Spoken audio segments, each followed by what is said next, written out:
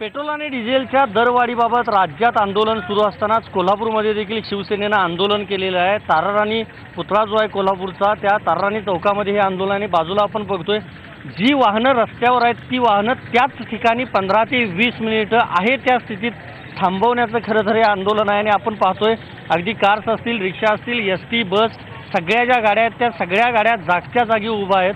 आणि गेल्या पंधरा ते वीस मिनिटापासून हे आंदोलन सुरू आहे. त्यामुळे वाहतुकीची खरं तर सगळीकडे कोंडी निर्माण झालेली आहे. आपण पाहतोय समोर देखील हा कसबा बावड्याकडून येणारा आणि जाणारा देखील रस्ता आहे. आणि त्यामध्ये दुचाकीस्वार असतील त्याबरोबर इतर फोर व्हीलर फोर व्हीलर्स ज्या सगळ्या आहेत त्या सगळ्या गाड्या जागच्या जागी थांबून आहेत. पलीकडे आपण पाहतोय ज्या ट्रॅव्हल्स आहेत त्या ट्रॅव्हल्स देखील सगळ्या थांबून आहेत. त्यामुळं वाहतुकीची एकंदरीत कोंडी झाल्याचं चित्र खरं तर या ताराणी चौकामध्ये पाहायला मिळतं आणि जे वाहनधारक गाडी चालवतील त्यांना आवाहन केलं जातं आहे की तुम्ही जागच्या जागी थांबा गाडी कुठलीही चालवू नका.